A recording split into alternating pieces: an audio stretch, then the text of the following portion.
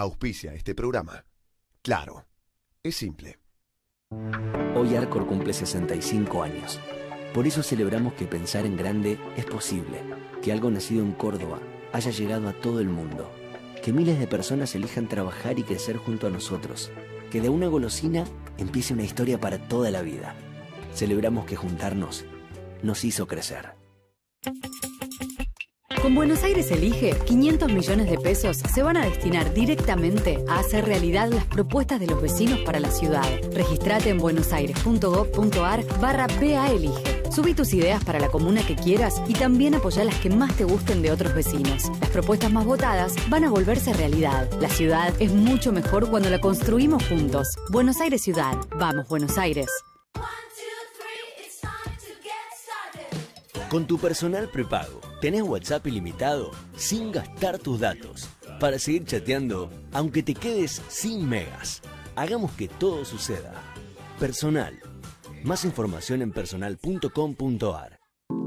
¿Querés recuperar tu sonrisa? En Consulmed te ofrecemos atención integral de primera calidad en todas las especialidades odontológicas, las 24 horas, los 365 días del año. Acércate a nuestras clínicas propias en Belgrano y Recoleta. Comunicate con nosotros al 5217-4400. Visita nuestra fanpage o nuestra web www.consulmed.com.ar. Consulmed, más de 30 años generando sonrisas.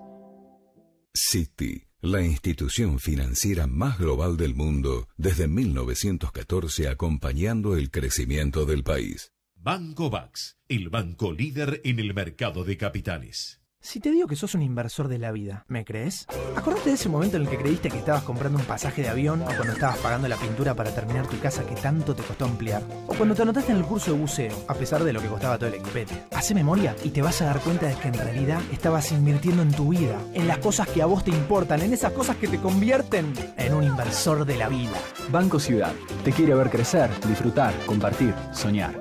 Redlink, servicios tecnológicos para una vida más fácil. Baco Club, club privado de vinos, nos cuenta que en el mes de la vendimia nos invita el miércoles 15 de marzo a un evento imperdible en el que se degustarán a ciegas las dos variedades más emblemáticas del mundo del vino, Malbec y Cabernet Sauvignon.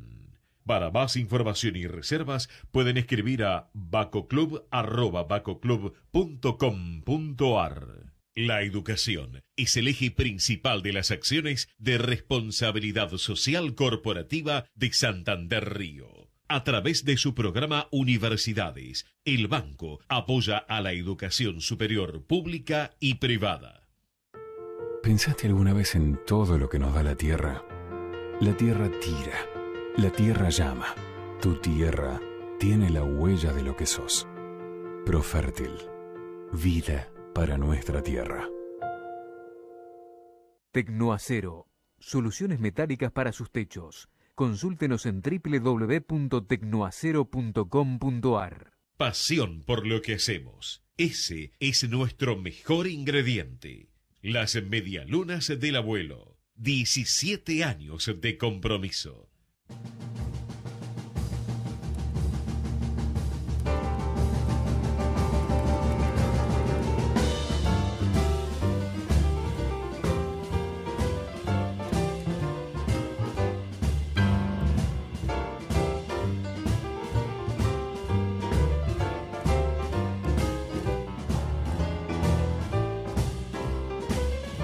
¿Cómo te va? Estamos acá. Le pusimos el pecho, ¿eh?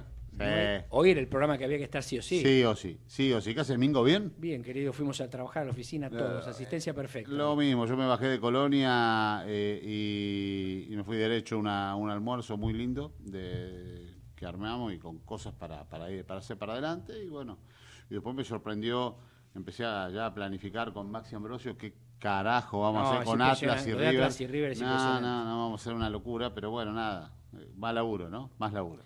Pero divertido. Pero muy, este muy- es el divertido. muy divertido. Y bueno, y después hay una reunión importante y ahora acá una reunión mucho más importante con mi amigo Mingo Esperanza, que vamos a analizar en principio, eh, aquí en, en Polémica, el paro.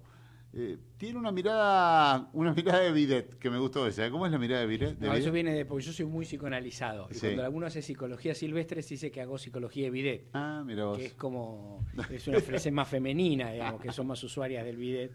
Pero es como que lo haces en esos momentos de introspección y cuando Sí. uno está solo. En realidad, lo que yo venía percibiendo hace tiempo, este, Santiago sí, difícil. eh, Dijo. Menos una menos vez que no fue futbolista. que no fue si ¿cómo lo futbolista. Siempre lo hubiera dicho, ¿cómo lo hubiera? Sí, ¿Qué haces, ya- Cobli?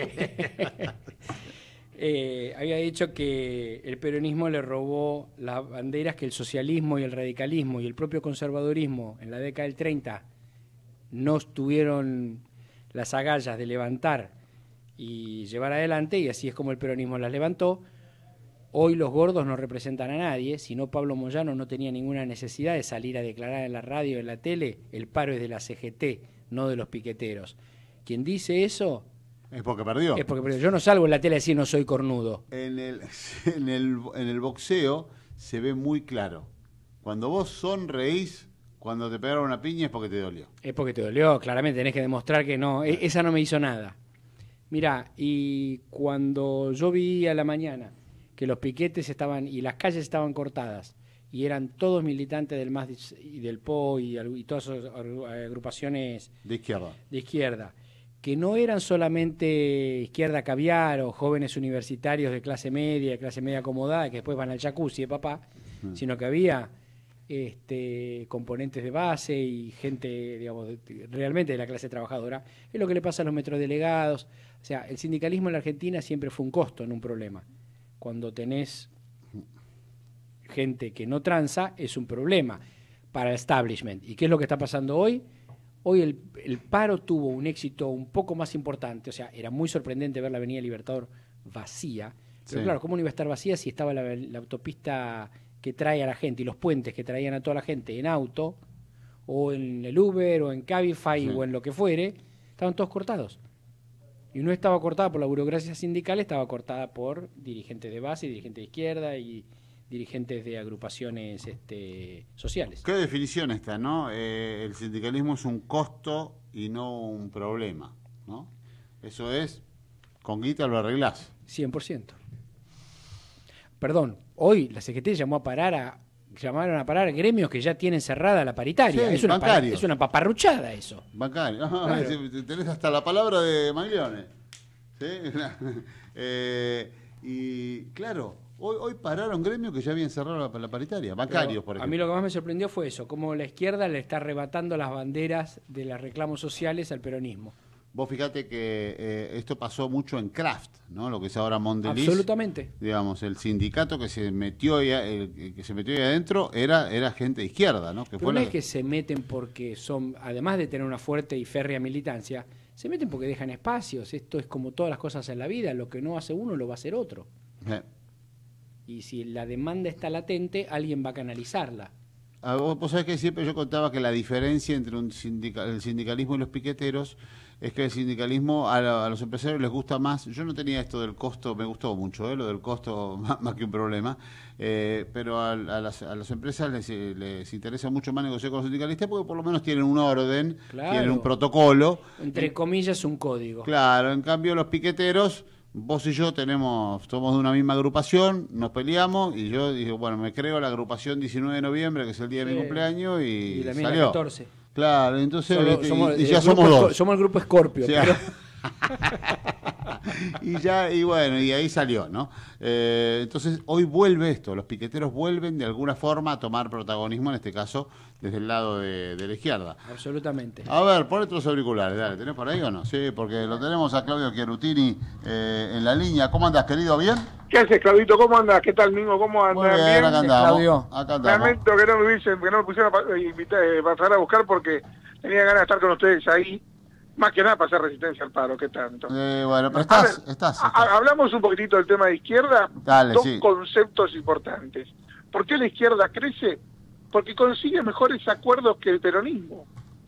Es mucho más dura al reclamar y es mucho más dura al exigir. Y tiene menos que perder, digamos. Claro, por eso. Pero No aparte, el, el peronismo negocia porque hay negocios y entonces negocia otras otras prebendas. Y las bases suelen tener me- menos aumentos o y en cada caso son los metrodelegados. Si vos te fijas el- el- el- la paritaria del metrodelegado con la paritaria de la gente que responde a UTA, la diferencia del sueldo hoy es del 50%, del 100%, del 100%. Mira vos. Y en la cantidad de horario y hasta la etapa para jubilarse. Perdón, y la Vean. combatividad de Baradel de este último tramo es porque tiene, le surgió por primera vez desde que es secretario general del gremio un oponente de izquierda, que es la mina, la señora esta que estaba la... Sí, no, pero el tema, el tema de Baradel es que es político y él aceptó todos los rezagos eh, salariales del, del, sionismo y ahora que tiene un oponente político donde no tiene nada que perder y bueno, se juega para pedir cualquier cosa.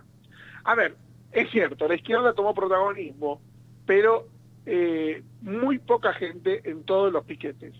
El piquete de, de Panamericana y 197 fue muy escuálido, reconocido por ellos mismos Sí. y se enfrentaron a una gendarmería muy bien armada y pertrechada que este, lo sacó con rapidez, aunque hubo incidentes.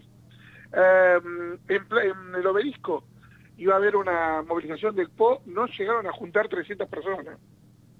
Eh, Notable el fracaso de la Sí, gente lo vi, del PO. lo vi. Y había bastante gente, bastante, digamos, en, en Perón y, y el puerto, y la entrada al puerto, como se llama, y, y Avenida Madero, Sí. porque ahí estaba el Hilton, donde estaba el World Economic Forum, ahí Sí. había también un poco de manifestación, pero ni siquiera generó conflicto, porque había tan poco movimiento en la ciudad que no generó mayor conflicto. No, no, no, pero eso te digo, pero aparte, primero, paro de transporte, éxito absoluto, no se movió nada. Nada. Taxis, poco y nada, para no decir nada. Remises muchos, Uber y Cabify también, completo total en cuanto a pedidos. Eh, trenes no se movió nada. Aeroparque Ezeiza paralizado. Bien, ¿eh? Buquebús Buquebus, para- sí, bien. funcionó. Eh, después, el resto, en los comercios, cuanto más te alejabas del centro, más comercios había. Eh, pero escasísimo, hay, movi- hay caso de movimiento en la calle. Yo estoy en Coronel Díaz y Las Heras, y esto es una romería porque hay gente que va al parque, nada, ni muy escaso movimiento, la gente ni salió, muy tranquilo, no hay ruido. Son las 7 de la tarde y no hay ruido en el parque ni en la calle. Es muy notable. Y también poca gente sacó con su, con su auto ante el riesgo de que ocurriera algo. Claro. Sin embargo, hubo una, una la la CGT no tiró ninguna cifra, dijo que fue contundente.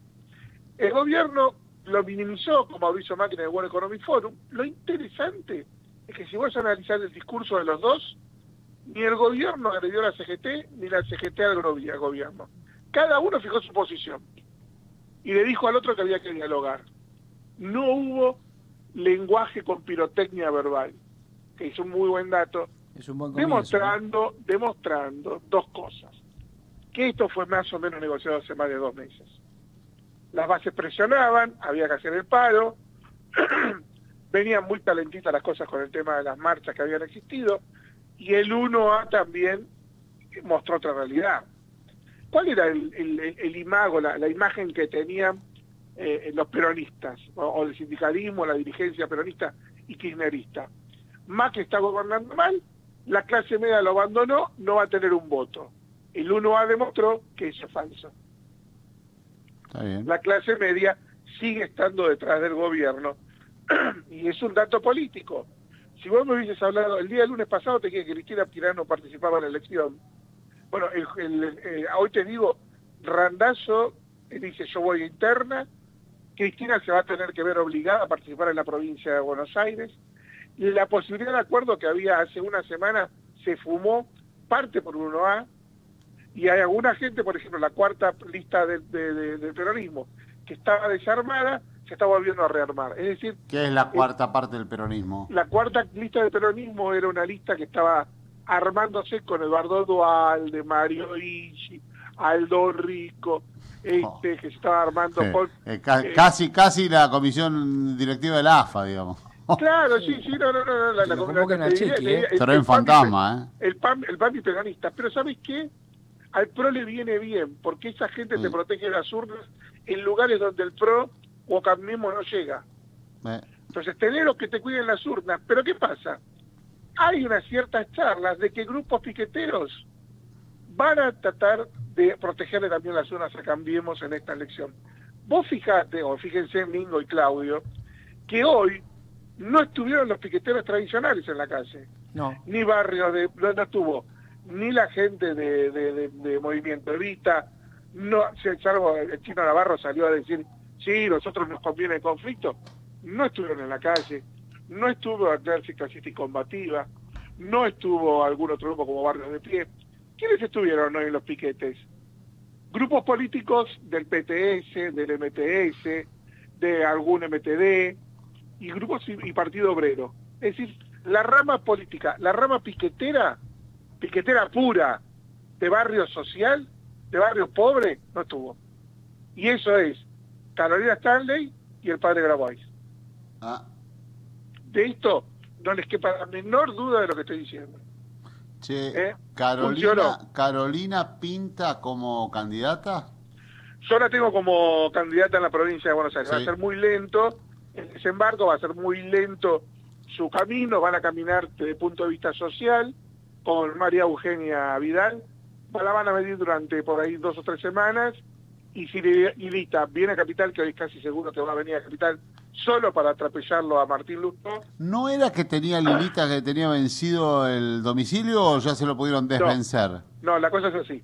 Lilita Carrió tiene en su documento de identidad el domicilio de Exactación de la Cruz. Sí. pero en el padrón figura todavía con el de domicilio de la ciudad de Buenos Aires. Con lo cual, si ella quiere presentarse provincia, va al registro civil, dice, muchacho, me ponen el domicilio nuevo eh, en, en la en el padrón electoral, después va a la justicia y le dice, ve acá tengo la antigüedad necesaria y podría ser candidata. Esa era la trampita que tenía la gente de la coalición cívica. Como tiene todavía domicilio en capital, formalmente en el registro civil, en el padrón nacional, puede participar por Capital Federal. Ah. Y como es nacida por Chaco, también podría participar por Chaco, le queda la triple distrito. Sí. Así que hoy está decidido, pero ayudó mucho a esta decisión ni Macri, ni María Eugenia Vidal, sino los análisis médicos, que dice que no está para hacer una campaña en la provincia de Buenos Aires. Vos. La campaña, la campaña en capital la haces por TN, la haces por los canales de noticias, Sí. eh, salís, haces cuatro caminatas en la ciudad y ya está más o menos armada la, la, la, la, elección en la ciudad de Buenos Aires. Y más si va, Va a ir, entonces vos crees que Lilita va. Yo voy para que Dito Canelita va por la capital, va a querer enfrentar a Lustó y si Lustó no va por adentro de, no digo ya de cambiemos, sino que no va dentro del ECO, sino va en alianza electoral con alguien más, mañana en Coordenadas ustedes lo van a poder leer. Opa. Ah, loco. ¿Por qué la haces tan complicada? Y bueno, porque yo por ahí te lo doy como adelanto para que vos lo mandes en el ristreto. Ah, bueno, y entonces lo charlamos el lunes. ah, me viene bien eso. ¿eh? Ah, ¿viste? Eh, me- vengo flojo para mañana el ristreto. Yo no tengo mucho. Eh, bueno, tenés paciencia que yo a la, a la una estoy mandando el mío. Bueno, listo. ¿Y me, me- me pones esa entonces? Sí, para mí me, deja- dos- me dos- dejas dos esa. españolas. Me dejas esta, listo, bien. Sí, vengo medio flojeli. Sí, y Eh, tengo dos españolas por ahí. Eh, bueno. Opa. Eh, Bueno, entonces, el paro fue bueno, fue, tu- tuvo adhesión, no hay que minimizarlo. Hubo una resistencia fuerte al paro en redes sociales, las empresas trabajaron mucho eh, a través de a través de internet, eh, home working hubo muchos, los comercios trabajaron poquito. Eh, listo, empate, hubo dos Argentinas, la ausencia de gente en la calle y el World Economic Forum. Eso es lo claro para entender. La otra Argentina estuvo en el World Economic Forum, donde se habló de inversiones, donde hubo autoridad, no hay ninguna figura que te quite el sueño, pero este por lo menos se está moviendo un poquito la cosa. Lee bien la gacetilla que te mande la gente de Alurral de, eh, Sí. de, del World Economic Forum, Claudito, Sí. y vas a ver que al final de todo, primero me impacta mucho la cantidad de redes sociales y canales alternativos para seguir el World Economic Forum. Tiene como 14 renglones, impresionante. Y habla de los copresidentes para América del Sur. Y aparecen dos nombrecitos que te van a sorprender. A ver, dale, por si no me llegó la gacetilla, dale. ¿No? No Marcos sé. Bulgeroni y Eduardo Elstein. Ah, mira vos. no sabía que estaban en ese entramado. Recordemos que World Economic Forum es una asociación sin fines de lucro con sede en Suiza, en Ginebra, en Suiza, que también en el fondo también es un negocio. No lo vamos a negar. Ellos participaron en Davos de- desde hace muchos años, ¿eh? participan ambos. Sí, ya lo sé, pero ahora como que parece que son los motores de esta movida, porque el resto de los copresidentes son Estados Unidos. Cuando leen la lista, te dice mucho. No, ¿eh? Estás inspirado hoy, ¿eh? ¿Cómo? Estás inspirado hoy. Y no, viste, cuando uno tiene tiempo de recargar un poco la batería, Mucho tiempo, mucho tiempo Un- adentro, leyendo. Un dato clave también, chicos, ya les, les termino el comentario para que puedan seguir el resto de los columnistas. Eh, UDA, la Unión de Docentes Argentinos, introdujo un reclamo judicial para que el gobierno nacional llame obligatoriamente a paritaria nacional. La jueza dictaminó a favor, el gobierno recibió el fallo hoy, y al recibir el fallo, eh, rápidamente dijo que mañana lo va a, lo va a responder, negándolo, y va a pedir eh, que sea afectada la causa la, la, la- jueza, parece por su militancia reconocida en justicia eh, legítima.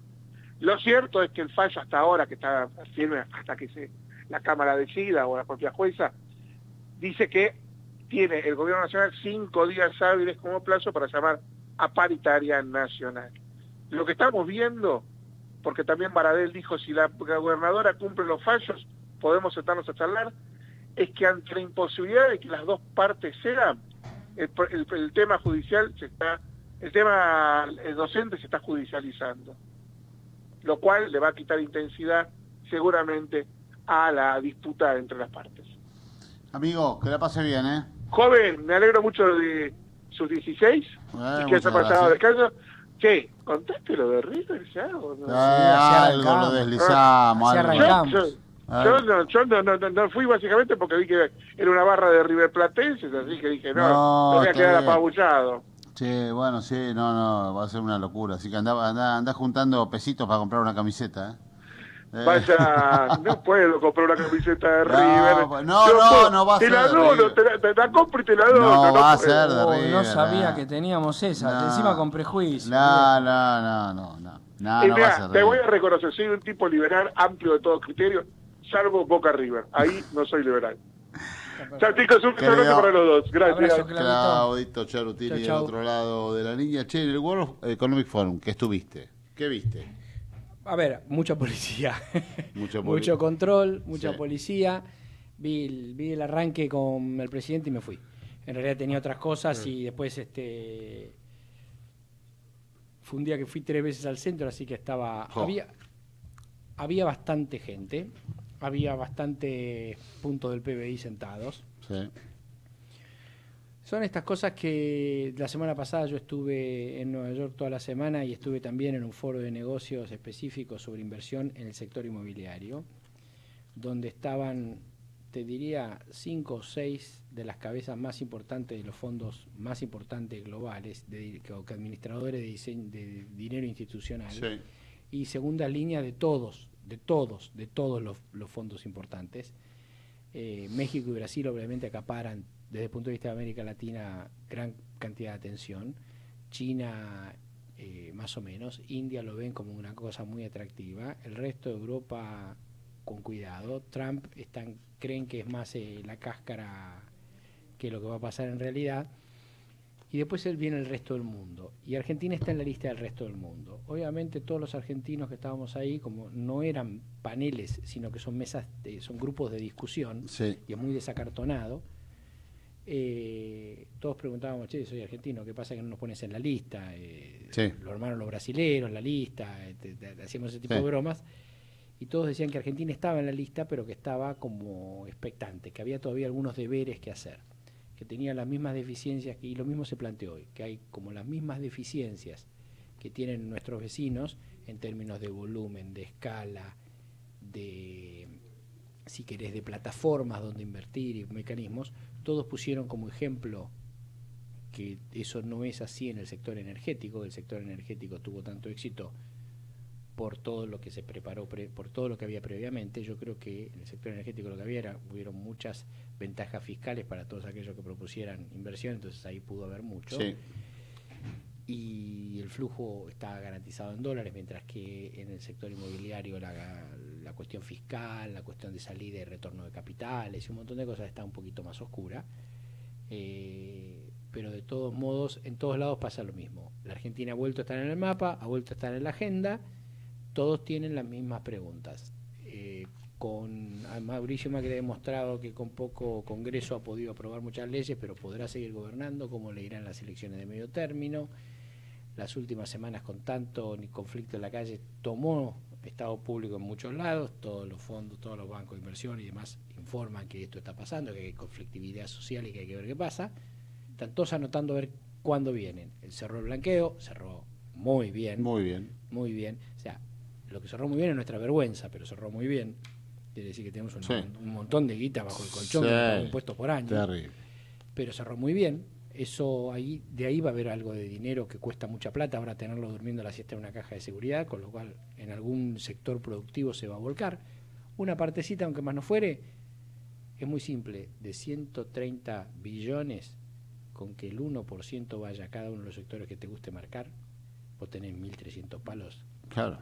de dólares, que para este mercado es un montón, que pueden ir al sector productivo, al sector, al sector inmobiliario, al sector energético, que inexorablemente van a mover un poquito el amperímetro y van a empezar a andar las cosas.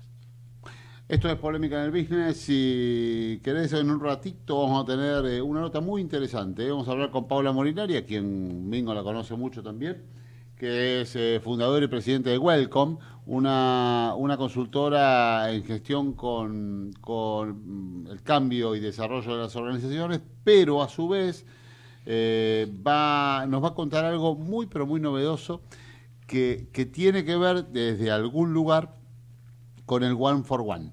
El One for One es un sistema que, si mal no recuerdo, lo creó la gente de TOMS. TOMS eh, es un grupo que, en el cual había un argentino que desarrolló un concepto de las alpargatas. De las alpargatas, claro, de las alpargatas, que vos tenés, eh, por cada una que, que vendían, donaban una a alguien que lo necesitaba. Un exitazo mundial, TOMS, está por todos lados. Eh, yo compré, para que tengan una idea, eh, es más, las que traje hoy son las Toms eh, y las compré en el Dubai Mall. Para tener un local en el Dubai Mall, tenés que facturar mucho, ¿no? Bueno, algo parecido desarrolló Paula Molinari, pero con horas hombre horas profesional pensado en la capacitación.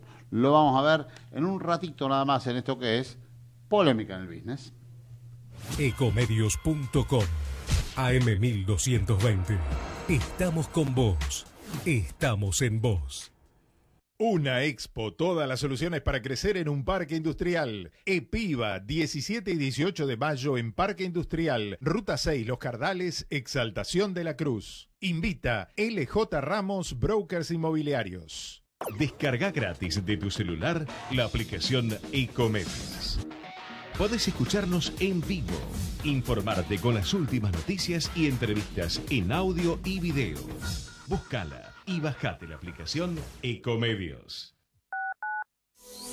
Podés vernos en vivo en ecohd.com.ar. ecohd.com.ar.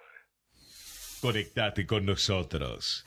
Contestador 5 254 2353.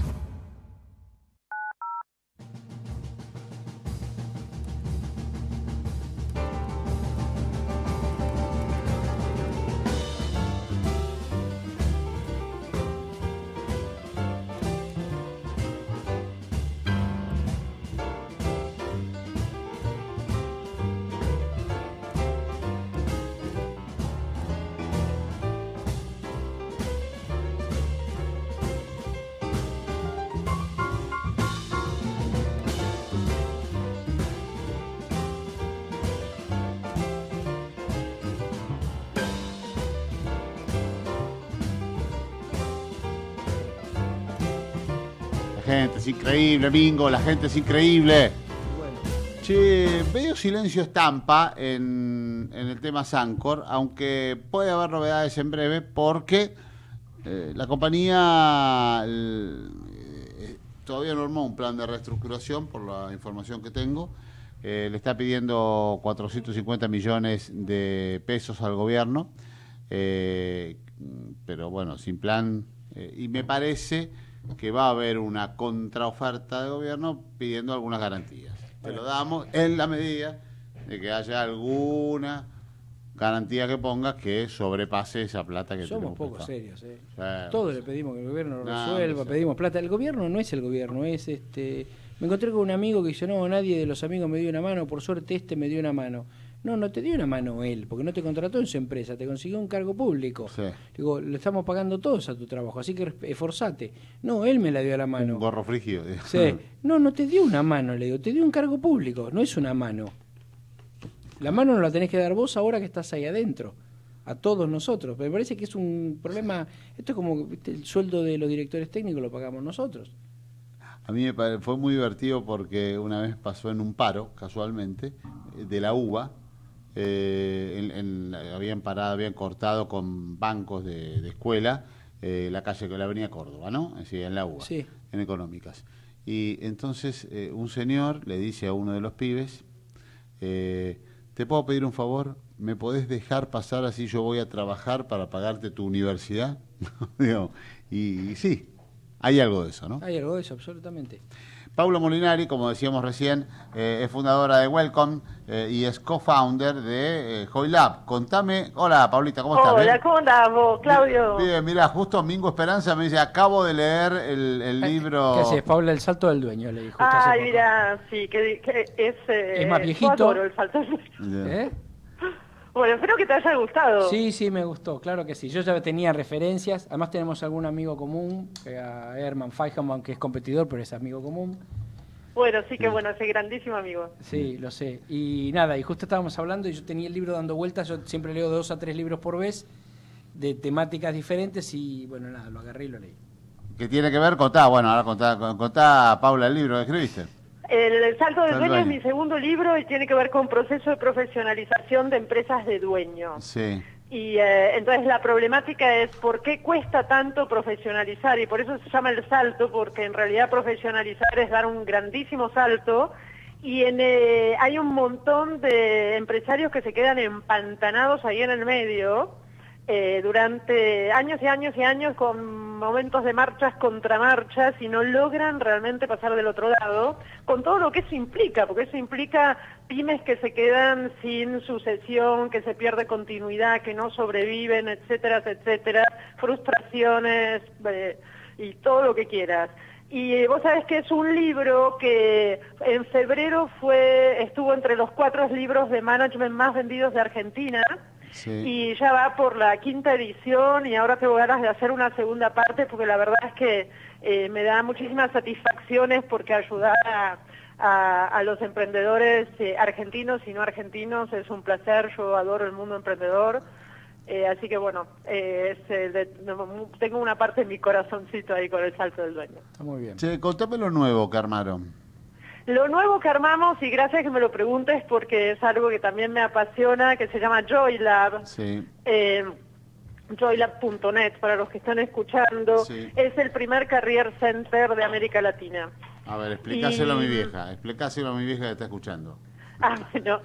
Y te, te cuento de por qué sale eh, y de dónde sale. O sea, cada vez más la gente siente que eh, muchísimos de los trabajos que hay que tienen que ver con el mundo de las organizaciones, si querés, del paradigma por ahí anterior, eh, son trabajos que están buenos, que te dan un sueldo, donde hay, eh, qué sé yo, hay una buena satisfacción laboral, pero donde la gente siente que no hace lo que quiere o no lo hace como lo quiere. Sí. Por eso es que yo a ese desfasaje lo llamo que la gente está desencajada y por eso Desencajados es mi próximo libro que ya sale Ah. ahora para mediados de año.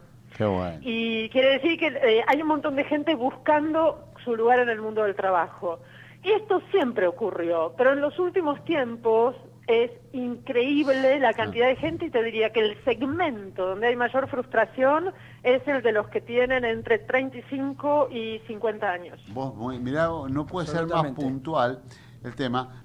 Yo, yo utilizo mucho la palabra reinventarse, ¿no? Y recién Sí. acabamos de tener una reunión con, con- con mi socio en uno de los proyectos que tenemos, el Shortcut, con una persona que tiene 49 y está exactamente en esa situación Y eso que está en una industria de las top, de las que si vos dirías, che, ¿cuáles son las cinco o seis cosas que van a pasar en la Argentina? En el mundo, digamos, va a ser una el entretenimiento, otro la media, otro, bueno, y esta persona está en eso y se encuentra incluso desencajada, es verdad. Bueno, pero vos sabés que no tiene que ver, mira, justamente hoy me, me hacían otra nota y me decían, bueno, pero hay gente que se quedó sin laburo. No, no, no. Todo el tiempo está trabajando y está ganando bien. Tiene buenos laburos. Y está ganando bien, este también. Es más, lo acaban de ascender a director. Tal cual, entonces vos fíjate que es una cosa re loca, porque desde el mandato Sí, todos los desencajados están muy bien. Sí. La sensación es una sensación interna, que es una sensación de no estoy contento, me levanto a la mañana y no tengo ganas, no hace sentido lo que hago, lo, que- lo que hago. ¿Cómo, ¿Cómo me acerco más a un mundo de sentido? Y eh, vos sabés que romper con el mandato no es una cosa fácil. Sí, claro. Eh, con lo cual a veces la gente necesita un soporte. Y también la otra cosa es que si la gente cree que no es posible hacer algo que tenga sentido, tampoco eh, lo intenta. Con lo cual eh, nosotros con JoyLab de lo que tratamos, lo que tratamos de hacer es eh, abrir el abanico de posibilidades para que la gente sienta que sí hay eh, oportunidades, porque de hecho las hay. Eh, así que la verdad que es esto, es, es algo que yo toda la vida hice por vocación, pero que ahora la verdad que la magnitud de las demandas me sobrepasaba. Entonces lo juntamos con otra cosa y es con nuestra vocación por ayudar a encontrar a la gente un lugar en el mundo del trabajo.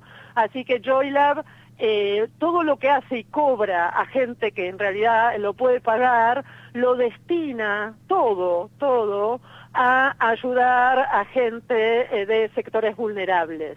Claro, yo lo, yo lo planteaba antes de hacerte la nota como una especie de TOMS, ¿no? Un one for one. Exactamente, exactamente. Es un one for one. eh, no es tanto one for one porque en Toms vos decís compra una zapatilla y hay otro Sí, que da otra. totalmente. Nosotros, digamos, la rentabilidad que tiene lo que hacemos, la invertimos, hemos elegido cuatro colectivos, como para ponerte Sí. uno es chicos de alto potencial de contextos vulnerables y entonces hay una ONG en la que participamos ya hace mucho ¿Cuál? que los selecciona, los acompaña durante todo el año, les cambia las aspiraciones ¿Cuál? Eh, se llama Empujar, Ah, que es bueno, una que sale de, de un grupo de empresarios Sí. eh, que se- nos unimos y, y generamos un, un emprendimiento propio, te diría, liga- ligado a la gente Vistage, Claro. eh, a la Asociación de Empresarios. Claro, yo conozco una que es Bisblick, que también hace algo parecido, ¿no? Toma padrina, chico, bueno, no sé si parecido, ¿no? Pero digamos, Sí, bueno, pero son, digamos, es, es la misma, es el mismo trabajo Sí. personalizado, digamos. sí,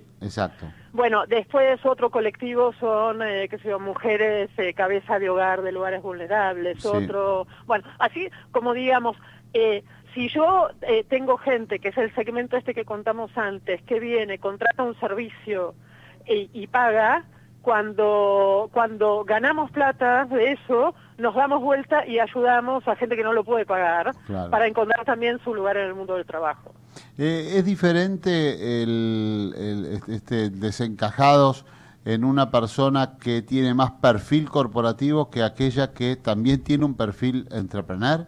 Porque justo nos pasó en la reunión de hoy que esta persona me dice, mira, pero yo me siento cómodo desde hace mucho tiempo en las corporaciones y no me animo a emprender, con lo cual es bastante más complicado el desencajados que Sí, pero en vos alguien sabés que puede decir... cuando la gente está desencajada no es solamente eh, porque quiere emprender.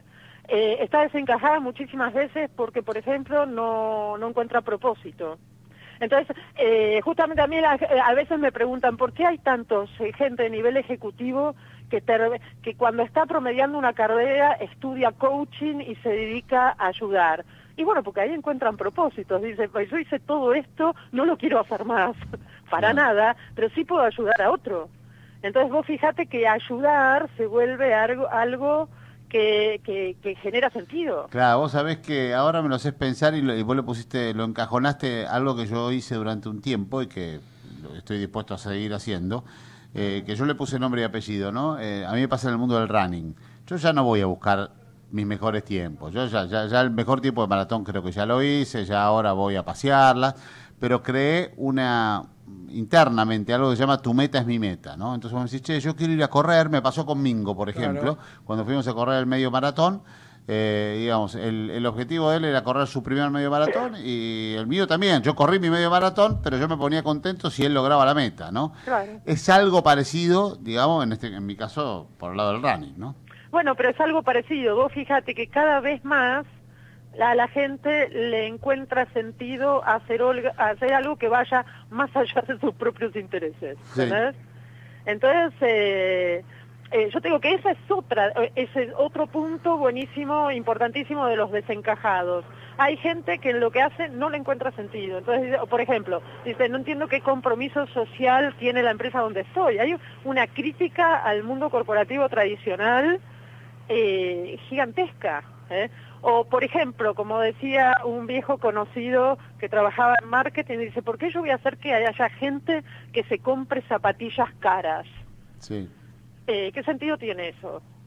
Entonces, bueno, si bien, en, eh, si bien llegaste a la meca del mundo del marketing cuando llegaste a esa posición, y cuando llegas a esa posición te das cuenta que, bueno, no te, no te, no te satisface Claro, ¿y ahora lo qué? que vos estabas buscando. ¿Y ahora qué? ¿No? Claro, ¿y ahora qué? Lo que pasa es que estos planteos antes no existían. Eh, y en vez ahora, como vos tenés una, eh, si querés, una, una explosión de temas de sustentabilidad, de, qué sé yo, te vas de Greenpeace a, a ONGs, de responsabilidad social empresaria, eh, un mundo mucho más eh, conectado y más consciente, aparecen, eh, aparece esto como fenómeno. Eh, ¿Te preocupan los millennials que, que, que están en situaciones vulnerables más que en otro momento? No, no me preocupan más que en otro momento porque yo creo que hoy eh, la tecnología viene a, dar más posibilidades y lleva más información y lleva hasta, eh, hasta posibilidades de aprender para los que tienen eh, pilas, digamos. No me preocupan más que en otros momentos. Creo que me hubiera preocupado más cuando había mayores niveles de aislamiento. Eh, lo que pasa es que sí, obviamente preocupa y de eso eso tiene eh, o sea, se resuelve con políticas que tienen que ver con políticas sociales, ¿no? Sí, que tengan Ahora acceso yo a esa creo que igualmente es una generación que es- tiene mayor capacidad para ser autodidacta eh, y para y para aprender cuando vos le das dispositivos a través de los cuales puede aprender. Pero bueno, ahí ya nos estamos metiendo en un tema que nos saca un poco de los claro. desencajados. Pero Sí. es un grandísimo tema. Yo creo que parte, perdón, yo me encuentro dentro de los del segundo tramo de los desencajados, según tu la definición de Joylab, porque igual que Claudio somos soldados clase 62 y reinventamos con un grupo de amigos de la misma generación hace pocos años una nueva empresa nuestra y demás, un poco también alejándonos de- del mundo corporativo tradicional del que habíamos estado muchos años. Y una de las percepciones que tenemos, si bien trabajamos para empresas todo el tiempo, una de las percepciones que tenemos es como que la situación de la tecnología y básicamente el fenómeno de Internet lo que ha hecho es que ha democratizado el conocimiento de un modo tan gigantesco que es como, yo viví unos años en Río y un amigo mío carioca me decía, mira, no hay nada más democrático que la playa. Sobre todo la playa carioca, donde todo el mundo va, o sea, no tenés carpas, no tenés accesos restringidos. Y con Internet te pasa lo mismo, o sea, si tenés acceso a Internet, todo el mundo podrás tener más, más teras o menos teras de velocidad. Pero, Tal cual. pero todos tenemos acceso a lo mismo. Sí, y aparte, ¿sabes qué? Todos empezamos a tener aspiraciones muy parecidas. Bueno, y ese es el punto. Y creo que ahí se te empiezan a generar ciertos conflictos, además porque son por ahí, siempre est- estás como en etapas de balance, y cambió el paradigma. O sea, hoy la gente no es que vive para trabajar o trabaja para vivir, está como en otras cosas mucho más, más sofisticadas de lo tradicional de por ahí la generación de mi abuelo, de mi viejo. Tal cual, es así, justamente así. El otro día, eh, en uno de los cursos que, que hice, que se llama Mind, eh, que es eh, de management del negocio, digamos, para en, en la era digital, eh, en la San Andrés, vino Santiago Bilinkis y, y me hizo pensar algo que dijo él en, en lo que se viene, ¿no? Eh, siempre está la preocupación de que los robots le van a sacar trabajo a la gente. Y Santiago decía, ¿por qué no, no, no, no lo miramos distinto? ¿Por qué la gente tiene que trabajar 16 horas y no trabajar 5? ¿no? Tal cual es así. Ahora, y a mí eso me generó hacer una nota para, para una, una revista que hace el Carrasco Lawn Tennis, que es el, tal vez el club más pituco de, de Uruguay. Eh, y, y yo decía, si esto pasa, si, lo- si, si la gente va a trabajar cinco horas, ¿cómo tienen que redimensionarse, por ejemplo, los clubes? ¿No? Porque va a tener mucha más gente que va a ir a los clubes porque va a tener más tiempo, digamos, ¿no? ¿Cómo, cómo tenés que repensar todo? El- porque va a haber... Nunca se me había ocurrido lo de los clubes, tenés razón. No, claro, lo de los clubes es tremendo, ¿no? Bueno, pero eso lo ves con la cantidad de propuestas que hay para espar- de esparcimiento Sí, claro. y si querés lugares eh, donde la gente va, que son lugares abiertos que cada vez aparecen más, o propuestas como, qué sé yo, los food trucks en Sí, un claro. lado una semana y en el otro. O sea, El- esto está, tiene que ver con que cada vez más la gente quiere divertirse. Sí, sí, el tema entretenimiento es el Claro. que va cada vez más, más allá, ¿no? Y cómo tienen que repensarse todo, ¿no? Los espectáculos deportivos, los, los teatros. Sí, no es motivo de culpa querer, querer celebrar o divertirse. No, claro, bueno, pero ese, bueno, esta es otra de las otras de las cosas que traen a los desencajados. O sea, está bien, yo hago esto, pero esto no me gusta. O sea, ¿por qué tengo que disociar lo que me gusta de lo que lo que tengo que hacer para trabajar? Vos sabés Y- que es muy interesante porque vos, vos estás permanentemente viendo eh, posibilidades o nuevas industrias para la cual la gente pueda reinsertarse, porque dentro de tu consultoría también está eso. Y, y a mí me ha dado mucho que pensar cómo el deporte permite esto. Yo, yo he trabajado con, en el programa que dirijo de Management Deportivo con una persona que se fue de Tequint para ser gerente de marketing de estudiantes, ¿no? Y vos decís, flaco, vos dejaste Tequín. Sí, porque la adrenalina que tengo en estudiante es otra. Y si vos te fijas ahora lo que es el equipo de management de River, digamos, son todos CEOs de compañía que les divierte mucho más, ¿no? Bueno, Entonces pero ahí... esa, fíjate, esa es la búsqueda de juntar lo que yo sé hacer con lo que amo hacer. Sí, gestión y pasión, claro. Claro. O sea, porque ¿quién dijo que tenían que ser disociados? Bueno, eso era el mandato anterior, Sí. donde el trabajo era, eh, viste, te lo tenías que aguantar. Bueno, no es más así. Entonces, en realidad, en esa búsqueda la gente la tenés que acompañar porque la fuerza del mandato es tan grande Sí. Que a veces solos no ven las otras opciones que hay. Sí, totalmente, definitivamente. Yo creo que ahí hay una hay una oportunidad para, para desarrollar. Y qué bueno que después que esta persona que vos le ayudes a, encajar, ¿no? Cuando está desencajada, después esa plata la puedan destinar a gente que, que también tal vez tiene la misma problemática u otra, pero que no tienen recursos para poder Sí, resolverlo. ¿no? totalmente. Y vos sabés que a las a los que son career counselors, nosotros internamente en la organización los llamamos alquimistas Ah, y a los que son los participantes, digamos, los llamamos exploradores, con lo cual son Ah. relaciones entre exploradores y alquimistas. Y eh, lo que hacemos también es certificar explorado- eh, alquimistas, digo, en todos lados. De hecho, en la última certificación certificamos a ocho, uno de los cuales Felipe Poner está en Chile, para que te des una idea. Y es por eso es que yo digo que nuestra intención es armar el Uber de los Career Centers. Claro. Quiere decir que no importa dónde estés o de qué sector sos, va a haber un alquimista que pueda ayudarte a ver que tenés muchas más opciones y que tenés una opción que se acerca mucho más a lo que es tu proyecto de vida, es una manera de salir de la caja, ¿no? tal cual. Eh, Paula, la verdad, un, un enorme placer estar conectado. ¿Seguís con los anteojos colorinches? No. Sí, siempre. sí, siempre y aparte te digo que salgo a correr todas las mañanas. Ah, mira qué bueno. Sí, no, no corro tanto como vos, No, pero por lo no, menos ya me bueno. hice el rito de correr un poquito todas las mañanas, así que salgo con mi, cargue- con mi carrerita Qué y ahí todo el día estoy repila. Qué grande. Vos sabés que yo tengo un paso muy raro y mi entrenador me dice, mira, vos tenés un pasito económico. Que- así que anda pensando en tu pasito económico. Está bueno.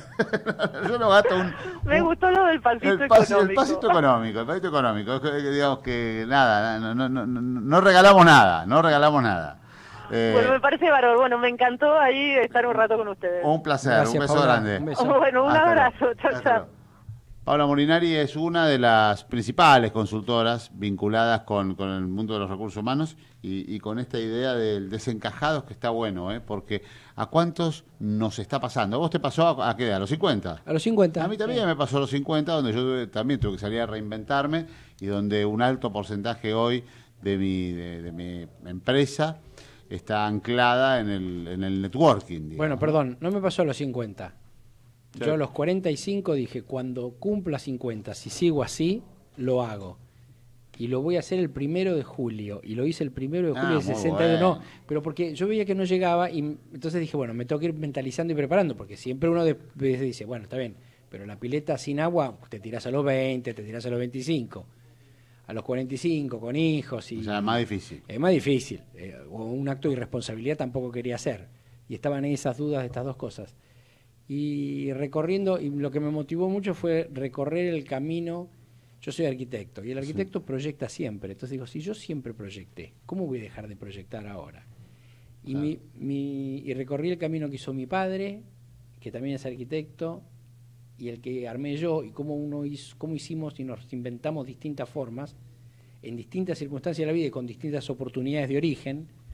Y dije, no, esto lo tengo que hacer ahora o nunca. Y vos me habías invitado a almorzar y ahí, te lo, ahí lo lancé. sí. No lo había dicho nunca delante Qué de nadie más que del espejo. Qué bárbaro, qué lindo. No, la verdad es que, y bueno, y a mí me pasó algo similar, ¿no? Es decir, yo me di cuenta de que eh, estaba, tenía ahí una, un activo que, que no lo había desarrollado, con, que, que es la, la red de contactos y todo, y, y dije, che, yo acá, eh, hay- mucha gente me pide muchas cosas, pero si yo no le creo un camino para que me puedan acompañar, eh, no podés monetizar. no hay nada Ah, claro. Y segundo, la gente, porque todo pasa, yo separo a la gente entre la gente bien y la gente no bien.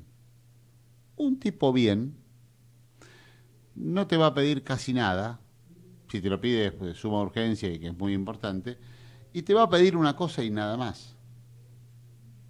Ahora, un tipo no bien te pide 47, hasta que, Sí, sí. hasta que en la tercera le dijiste, che, Papá Noel son los padres, y ya está, ¿no?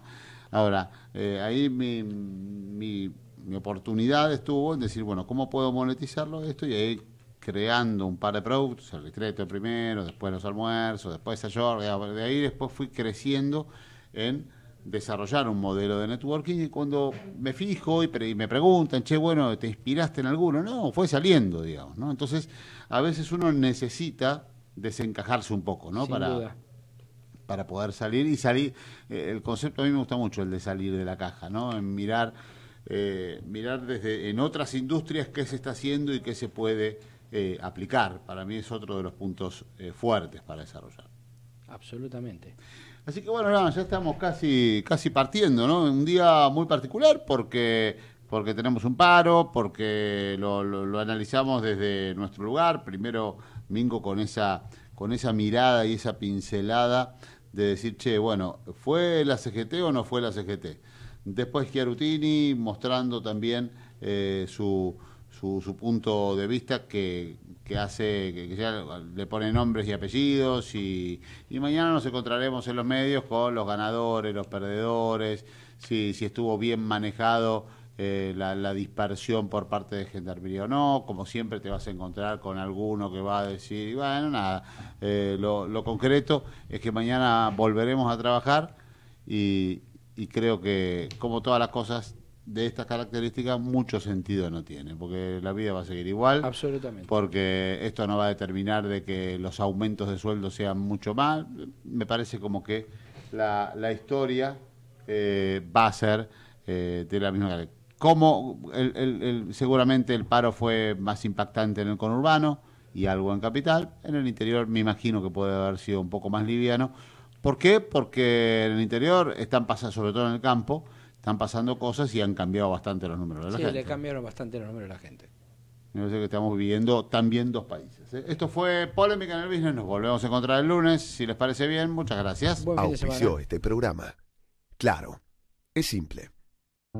Hoy Arcor cumple 65 años.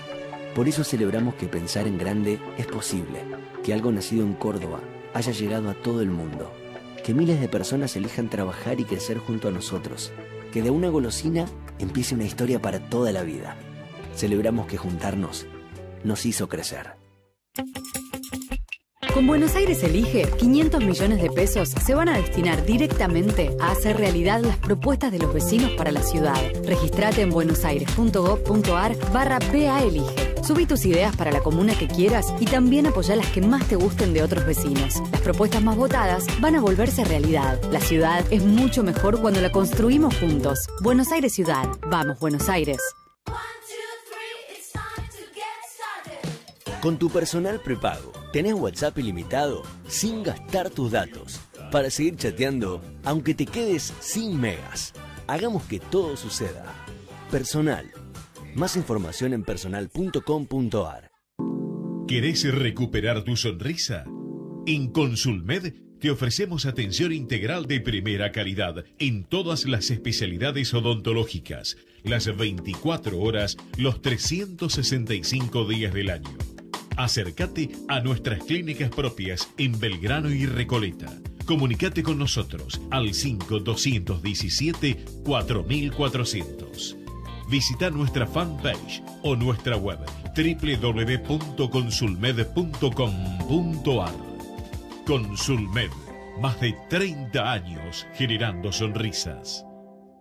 Citi, la institución financiera más global del mundo desde 1914 acompañando el crecimiento del país. Banco Bax, el banco líder en el mercado de capitales. Si te digo que sos un inversor de la vida, ¿me crees? Acordate de ese momento en el que creíste que estabas comprando un pasaje de avión o cuando estabas pagando la pintura para terminar tu casa que tanto te costó ampliar. O cuando te anotaste en el curso de buceo, a pesar de lo que costaba todo el equipete. Hace memoria y te vas a dar cuenta de que en realidad estabas invirtiendo en tu vida, en las cosas que a vos te importan, en esas cosas que te convierten en un inversor de la vida. Banco Ciudad. Te quiere ver crecer, disfrutar, compartir, soñar. RedLink, servicios tecnológicos para una vida más fácil. Baco Club, club privado de vinos, nos cuenta que en el mes de la vendimia nos invita el miércoles 15 de marzo a un evento imperdible en el que se degustarán a ciegas las dos variedades más emblemáticas del mundo del vino, Malbec y Cabernet Sauvignon. Para más información y reservas pueden escribir a bacoclub.com.ar. La educación es el eje principal de las acciones de responsabilidad social corporativa de Santander Río. A través de su programa Universidades, el banco apoya a la educación superior pública y privada. ¿Pensaste alguna vez en todo lo que nos da la tierra?